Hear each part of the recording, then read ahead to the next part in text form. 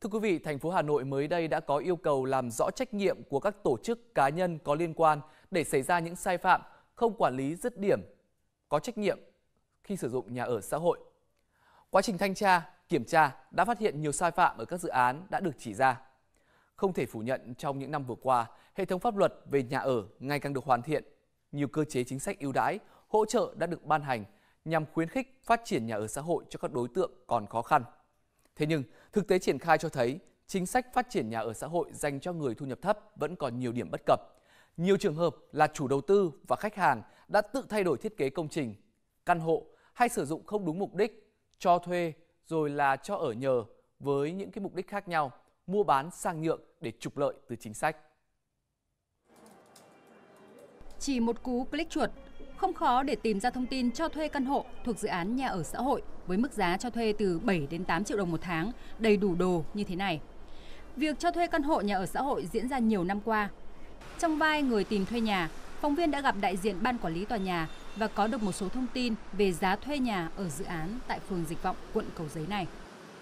Chị tìm cho em căn hai ngủ cũng được. Ở đây chỉ có hai ngủ, không có một À, ngủ, cũng không có ba ngủ. À. Tất cả các căn ở đây chỉ có hai ngủ. Chị ghi tên với số điện thoại của chị. Đồ ở đây là từ từ ờ, 7 triệu rưỡi đến 8 triệu đó. Và khi phóng viên tỏ ý muốn tìm mua một căn hộ để ở thì đại diện của ban quản lý tòa nhà không ngần ngại giới thiệu các căn hộ 70 m2 với các mức giá dao động trong khoảng 3 tỷ 300 triệu đồng. Nhà đây bán Bán hả chị? tầng 8 nếu mà ấy thì là 3 tỷ 2 năm chục. Nếu mà mua thì em bảo chị lên tầng 10 lấy căn 10 10 đẹp à, có 3 tỷ 3 Có bên môi giới chị vẫn cứ hỏi bảo đến xem Vâng. nếu mà người ta cho xem được tốt mà người ta không cho xem được alo em em sẽ hồi kết nối Trên 47 triệu một mét vuông bởi dự án nằm ngay mặt đường lớn. Trước đó, năm 2017, các gia đình nhận bàn giao nhà ở đây với mức giá chưa đến 9 triệu đồng một mét vuông. Theo quy định, nhà ở xã hội phải sau 5 năm, người mua đã thanh toán xong tiền mua nhà và đóng 50% tiền sử dụng đất mới được sang nhượng mua bán. Tuy nhiên, một số căn hộ ở đây đã hoàn tất việc mua bán sang nhượng khi chưa đủ thời gian trên. Đây cũng là một trong những dự án bị điểm mặt chỉ tên trong danh sách các dự án nhà ở xã hội có sai phạm của các sở ban ngành thành phố Hà Nội vì đã cải tạo đập thông hai căn hộ để mở rộng diện tích, cho ở nhờ, cho thuê lại hoặc không sử dụng. Cần phải nhắc lại việc xây dựng các dự án nhà ở xã hội là giúp giải quyết vấn đề nhà ở cho các hộ gia đình như là cán bộ công chức này, viên chức, sĩ quan quân nhân chuyên nghiệp thuộc lực lượng vũ trang nhân dân hưởng lương từ ngân sách nhà nước, công nhân làm việc tại những khu kinh tế, khu công nghiệp, khu chế xuất, khu công nghệ cao, các đối tượng trả lại nhà công vụ gặp khó khăn về nhà ở.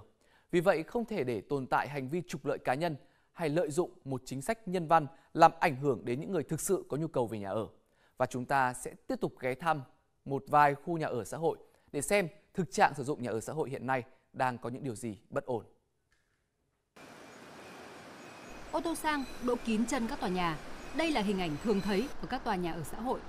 Chủ nhân của những chiếc ô tô đắt tiền này cũng chính là những người trong diện được mua nhà ở đây. không thể nào chấp nhận cái tình trạng mà lại nhà ở cho người nghèo, mà lại xếp hàng dài ô tô để đăng ký mua cái người mà không phải là đối tượng chính sách thì được hưởng lợi ờ, trong khi đó thì cái người thực sự là khó khăn, thực sự là nhà nước muốn quan tâm đến thì lại không được ừ, hưởng cái chính sách đấy và ngân sách thì vẫn cứ mất tiền để chi ra cho cái đối tượng chính sách mà không đáp ứng được mục tiêu ờ, và tôi nghĩ rằng cái điểm rất quan trọng nữa là nó làm giảm làm mất cái lòng tin của người dân đối với lại cái chính sách an sinh xã hội cái chính sách rất tốt đẹp của nhà nước Các chuyên gia chỉ ra, việc quản lý sử dụng nhà ở xã hội tại Hà Nội thời gian qua vẫn chưa được các đơn vị chức năng quản lý chặt chẽ, gây bức xúc trong dư luận. Bởi nơi có nhà thì bán không đúng đối tượng. Ngược lại, đa số người trong diện được mua nhà ở xã hội lại khó tiếp cận với các gói tín dụng cho vay ưu đãi để mua nhà. Dù chính phủ đã ban hành một số chính sách hỗ trợ tương ứng trong những năm qua. việc các ngân hàng thương mại uh, thực hiện việc cho cho vay vốn và cấp nguồn cho các cái dự án nhà ở xã hội thì chúng tôi thấy diễn ra rất ít và gần như không muốn nói là gần như chưa có. Chúng tôi nghĩ rằng cần phải có những cái chế tài mạnh để bắt buộc các ngân hàng thương mại phải có những cái trách nhiệm đồng hành với chính sách để phát triển nhà ở xã hội thì chúng ta mới hy vọng là nhà ở xã hội ờ, chúng ta sẽ được phát triển một cách đầy đủ đảm bảo cho cái các cái đối tượng mà chính phủ và luật pháp đang hướng đến. Hệ lụy của nó là rất lớn. Không chỉ hệ lụy về cái việc là người cần nhà không có nhà, mà hệ lụy đến cả vấn đề quản lý nhà nước, đến bộ máy nhà nước.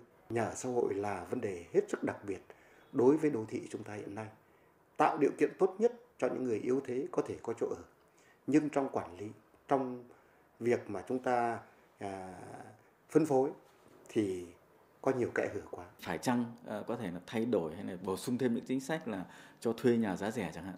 Thế còn cái chính sách mua nhà thì những cái đối tượng nào được ờ, đáp ứng có thể là được uh, ưu đãi thì chúng ta cần phải kiểm soát thật chặt để đảm bảo cho nó đến đúng đối tượng và quan trọng là cái quá trình ờ, sau này thực hiện kiểm tra thanh tra giám sát chúng ta phải xử lý để loại bỏ những cái trường hợp sai trái. Nhà ở xã hội là để phục vụ nhu cầu của những người có thu nhập thấp, người nghèo trong xã hội. Loại hình nhà ở này được hưởng nhiều ưu đãi của nhà nước về tiền thuế, tiền sử dụng đất, vay vốn lãi suất thấp. Vì vậy, trong quá trình kinh doanh quản lý, sử dụng cả của chủ đầu tư và cả của người dân, nếu có vi phạm, cần có chế tài phạt thật mạnh. Theo thông tin từ Sở Xây dựng Hà Nội giai đoạn 2016-2020 thì Hà Nội đã đặt ra mục tiêu là xây dựng khoảng 6,2 triệu mét vuông sàn nhà ở xã hội. Nhưng đến thời điểm hiện tại thì chúng ta mới đạt trên khoảng 4 triệu mét vuông và thiếu 2,2 triệu mét vuông nữa. Giai đoạn 2021-2025, thành phố cần đầu tư xây mới khoảng 5 triệu mét vuông sàn nhà ở xã hội, bao gồm cả nhà ở cho công nhân. Như vậy là tính thêm à, diện tích xây bù nữa là chúng ta sẽ phải đầu tư xây mới khoảng hơn 7 triệu mét vuông sàn nhà ở xã hội. Để đáp ứng được nhu cầu còn rất lớn của người dân, cùng với việc đẩy mạnh triển khai các dự án đã được phê duyệt đầu tư trước đó từ các bộ ngành tới thành phố Hà Nội cần yêu cầu siết chặt hơn nữa không quản lý và sử dụng loại hình nhà ở này, tránh tình trạng lợi dụng ưu đãi để trục lợi từ chính sách. Mới đây, Bộ Xây dựng đã đưa ra một số giải pháp để siết chặt hơn quản lý công tác sử dụng nhà ở xã hội. Quan điểm của Bộ Xây dựng là thực hiện các cái chính sách về nhà ở xã hội phải đảm bảo đúng theo cái quy định của à, luật nhà ở.